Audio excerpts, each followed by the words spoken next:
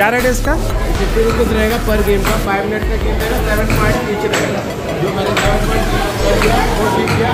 या तो five point में जिसका ज़्यादा पॉइंट रहेगा वो जीतेगा और इसका? ये अपना पूल टेबल है। हाँ। एक पूल टेबल हमारे पास एक क्यूबा टेबल है।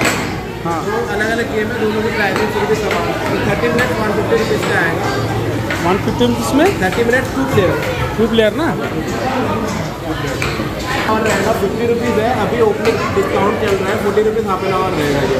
हाफ़ एन आवर का पर person, पर पर्सन का हाफ़ दो जन खेलते हैं तो ऐसे में है डिस्काउंटेड सेवेंटी रुपीज़ और एक्सबॉक्स का? तो जो सबका सामान है तीनों कॉन्सन के कितने है ना?